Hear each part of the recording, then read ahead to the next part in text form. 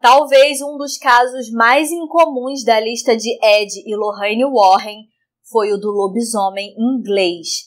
Acreditava-se que um homem chamado Bill Hansey estava possuído por um demônio que se manifestava como um lobo. Hoje eu trago detalhes sobre esse caso.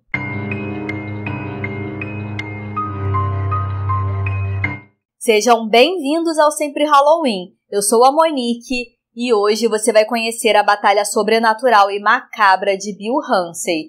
Se você se interessa nesse tipo de conteúdo, já clique em inscrever-se para não perder os próximos vídeos.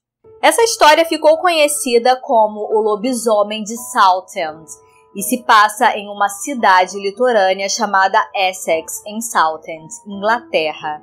Numa quente e ensolarada tarde de sábado, em 1952, o pequeno William Hansey, carinhosamente chamado de Bill, de 9 anos, estava no jardim de sua casa brincando sozinho como sempre fazia. Ele era um garoto de imaginação fértil e passava horas lá fora, em seu próprio mundinho, brincando. Nesse dia, ele tinha acabado de voltar do cinema e tinha visto um filme de guerra, e então ele estava brincando de piloto de caça. Mas de repente ele começou a se sentir estranho. Se sentiu gelado, trêmulo, suando ao mesmo tempo. Começou a exalar um odor mal cheiroso que dava ânsia de vômito. O mais estranho é que agora em sua cabeça vinham imagens de lobos e uma vontade irracional de correr de quatro pela estrada. A mãe de Bill provavelmente observou que o filho estava com problemas e então ela chamou por ele. O menino, subitamente dominado por uma força estranha, começou a rosnar para a própria mãe. Ele já não tinha mais controle de suas ações. Ele arrancou as cercas do quintal que eram cravadas no chão e a amarração de arame, exibindo uma força muito além do que um garoto de 9 anos deveria ser capaz. A essa altura, sua mãe já havia corrido para buscar o marido e quando voltaram, o menino já segurava um taco de beisebol. Então, percebendo a raiva do filho, o pai de Bill achou melhor recuar de volta para a relativa segurança da casa. Eles fugiram às pressas e ficaram observando o surto através da janela. Bill, um filho educado e tímido, estava roendo as cercas que havia arrancado como se fosse uma besta selvagem. Depois de vários minutos, o pequeno Bill Hansey começou a se acalmar e finalmente caiu, ainda ofegante, no chão. Ele havia se ferido ao morder o arame afiado. A cena foi terrível. Após recuperar sua consciência, Bill caminhou até a casa e calmamente pediu para entrar. Seus pais prestaram socorro ao filho ainda cautelosos. Naquela noite, eles jantaram em silêncio. A família decidiu que o que quer que tenha ocorrido não era para ser falado novamente e que eles deveriam tentar esquecer o que aconteceu. A família passou a viver uma vida pacífica e nenhum outro incidente desse tipo voltou a acontecer. Bill Hansey teve uma infância normal, se casou e teve três filhos. No entanto, pouco depois de seu casamento, ele começou a ser atormentado por pesadelos vívidos e às vezes acordava ofegante e rosnando como um animal. Apesar de assustar toda a família, eram apenas sonhos. Só que foi na década de 80 que incidentes bizarros provariam que ainda havia algo muito errado com ele. Em 1983, Bill estava bebendo com um grupo de amigos quando começou a sentir uma súbita onda de frio, gelado e suor, muito semelhante ao que ele tinha experimentado quando criança. Ele foi ao banheiro e disse que quando olhou para o espelho, ele podia ver o rosto assustador de um lobo. Ele pediu a alguns amigos que o levassem para casa e enquanto estava no carro, ele foi tomado por uma raiva avassaladora e perdeu o controle começou a rosnar e tentar morder a perna de seu amigo. O motorista do carro foi capaz de encostar e depois que todos lutaram para conter Bill, ele parecia estar exibindo uma força absurda. Quando Bill voltou aos sentidos, disse que não lembrava de nada. Mais tarde naquele ano, as coisas só ficariam mais estranhas. No Natal de 83, Bill começou a sofrer de dores no peito e começou a suar. Sua preocupação imediata era de estar tendo um ataque cardíaco. Ele foi ao pronto-socorro em um hospital próximo. Chegando lá, foi urgentemente colocado em uma maca e preparado para o exame. Quando uma enfermeira se inclinou para examiná-lo, Bill soltou um rugido gutural e atacou a mulher, mordendo seu braço. Depois ele jogou os móveis e correu para o canto da sala, rugindo como um animal.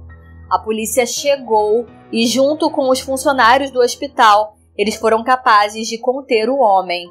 Eles sedaram Bill com tranquilizantes e o colocaram em uma maca. Testemunhas mais tarde diriam que Bill parecia totalmente animalesco, com as mãos curvadas como garras, dentes à mostra, ameaçador, rosnando para os policiais. Um dos policiais que ajudaram a conter Bill contou que os olhos do homem pareciam selvagens.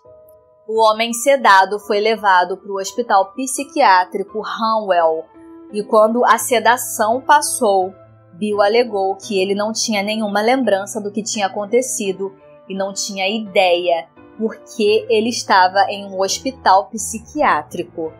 Embora os médicos pedissem que Bill ficasse e passasse por uma nova avaliação e testes, ele recusou e, como ele se internou voluntariamente, o autorizaram a sair. O psiquiatra advertiu que ele provavelmente teria outro episódio desse se não descobrissem o que havia de errado com ele. Mas na época Bill ignorou e foi para casa. Só que o médico estava completamente certo.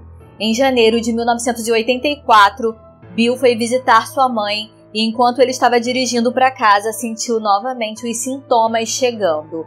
Ele correu o mais rápido que pôde para o hospital e acabou no mesmo pronto-socorro que tinha estado antes.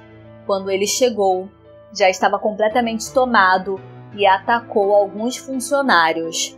Quatro oficiais cautelosamente cercaram Bill, que já era mais uma vez uma besta selvagem. Enquanto tentavam algemar Bill, um dos oficiais foi atacado e ficou internado por quatro dias. A força era tamanha que eles se perguntaram se algemas seriam realmente suficientes. Depois de ter sido algemado e jogado na traseira de um carro de patrulha, Bill teria voltado aos seus sentidos e, como antes, não conseguia se lembrar de nada. Depois de ser interrogado e racionalmente tentar contar sua história para as autoridades, foi recomendado que ele se internasse em um hospital psiquiátrico. Ele recusou novamente e foi solto. Na noite de 22 de julho de 1987, Bill parou em um bar chamado White Horse Inn para tomar uma bebida depois de um dia duro de trabalho. Ele bebeu demais e um de seus amigos se ofereceu para levá-lo até em casa, já que ele estava impossibilitado de dirigir. Em algum momento, ele se deparou com uma prostituta solitária andando pela rua e convidou a mulher para entrar no carro. Após um tempo, Bill começou a ficar ofegante e então ele soltou um estrondo. Quando o carro desacelerou o suficiente, a mulher pulou do carro e foi até uma delegacia. Bill saiu do carro e começou a segui-la de quatro, correndo como um animal. Um policial viu a cena e foi impedir, mas Bill jogou o policial no chão e começou a sufocá-lo. Mas os policiais vieram correndo. Bill facilmente jogou os homens no chão enquanto rugia como um animal. What I actually saw that night, um, I couldn't really understand what it was. All I knew that it was something I'd never witnessed before. It was not natural behavior.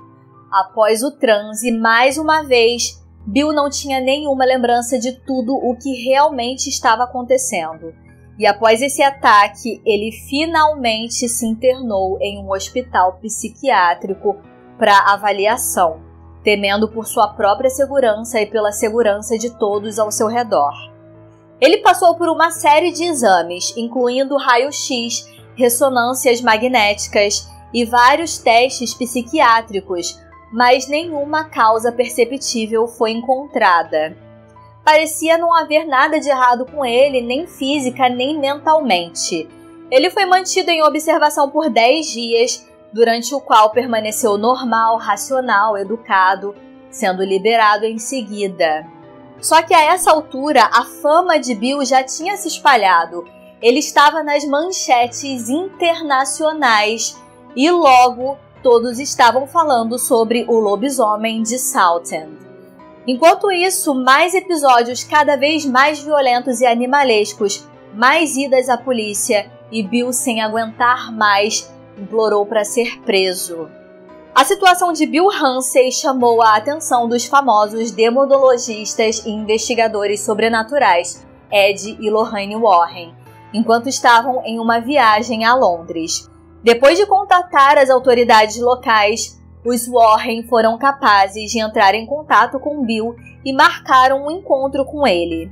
Os Warren conversou com a polícia e com a família de Bill e logo se tornou evidente que os estranhos eventos que haviam acontecido eram muito reais, embora ninguém tivesse ideia da causa. Após várias conversas com o próprio Bill e sua esposa Nina, eles chegaram à conclusão que ele estava de fato possuído por uma forma de espírito animal. Bill foi convencido pelos Warren de que ele deveria vir à sua igreja em Connecticut a fim de se submeter a um exorcismo com o bispo Robert McKenna, que tinha muitos exorcismos bem-sucedidos em seu currículo.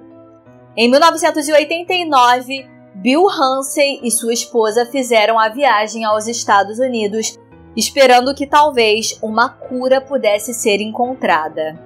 Quando chegou a hora do exorcismo, em uma sala estavam o bispo McKenna, os Warren, Bill Hansen e sua esposa, o investigador paranormal John Zaffis, funcionários da revista People, porque eles que haviam financiado a viagem da família, e vários policiais também estavam presentes para garantir caso as coisas saíssem de controle. O exorcismo começou, o bispo falava em latim e Bill não reagia. Ele começou a pensar que toda a viagem tinha sido uma perda de tempo. No entanto, quando o bispo colocou sua estola na cabeça de Bill e exigiu que o demônio se identificasse, o comportamento de Bill mudou abruptamente ele começou a rosnar violentamente e seu rosto ficou contorcido. Os olhos e dentes agora eram selvagens e suas mãos se entortavam como garras. Lorraine Warren mais tarde falou sobre as impressionantes características físicas que mudaram absurdamente. And the muscles in the back of the neck all began to enlarge and the ears began to point and he the lips rolled up, the teeth protruded, and he tried to. O bispo McKenna também disse que a aparência de Bill tinha mudado. O exorcismo parecia enfurecer ainda mais o demônio e Bill estava prestes a ferir seriamente o bispo. Quando algo estranho aconteceu, ele desmaiou. Mais tarde, ele contou que ficou sem força nenhuma enquanto o demônio era empurrado pelas palavras do bispo McKenna. Todo o exorcismo foi filmado e todos os que estavam presentes permaneceram inflexíveis sobre tudo o que aconteceu. Bill Hansen alegou que nunca mais experimentou tais incidentes e foi capaz de voltar a uma vida normal e pacífica. Ed e Lorraine Warren escreveram um livro sobre o caso intitulado Lobisomem Uma Verdadeira História de Possessão Demoníaca. De acordo com os Warren, Bill Hansen estava possuído por alguma forma de demônio. Os mais céticos acreditam em outra possibilidade. Ele poderia estar sofrendo de uma condição mental conhecida como licantropia clínica, na qual a vítima realmente acredita que é um animal. Ele também poderia estar exibindo qualquer transtorno psicótico, porque algumas explosões psicóticas podem produzir exatamente o tipo de comportamento visto no caso, o que teoricamente também poderia explicar as demonstrações de força sobre-humana. Após o exorcismo, Bill Hansen não teve mais episódios de surto, Só que as últimas notícias sobre ele são de 1992. Ele literalmente saiu do mapa. Isso é tudo que se sabe sobre ele. A estranha história de Bill Hansen continua sendo um dos casos mais bizarros de possessão que existe, conseguindo unir fenômenos raros de uma mistura animalesca e demoníaca. Você já conhecia esse caso? Deixe suas considerações que eu quero saber. Essa história me lembrou muito a sociedade secreta dos homens leopardos que aterrorizou a noite do deserto africano os homens acreditavam que eram leopardos. Se você quiser saber mais a respeito, eu vou deixar aqui na tela final. Se você gostou, deixe o seu like porque ajuda a divulgar o canal. Obrigada por chegar até aqui e nos vemos no próximo vídeo. Até lá!